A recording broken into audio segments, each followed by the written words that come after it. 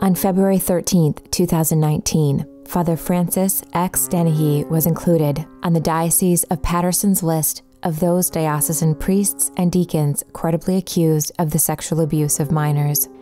It is believed that the Archdiocese and Diocese in New Jersey and associated religious orders have not publicly disclosed the full history, knowledge, and context of their sexually abusive priests and religious clerics.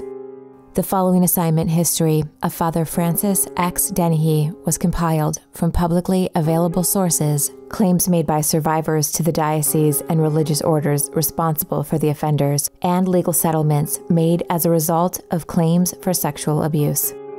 On December 1, 2019, New Jersey's Historic Victims' Rights Bill went into effect opening a two year window in New Jersey for survivors of child sexual abuse to take legal action against their perpetrator and the institutions that protected their perpetrator, no matter how long ago the abuse occurred.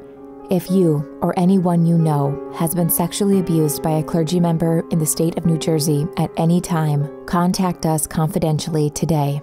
You are not alone.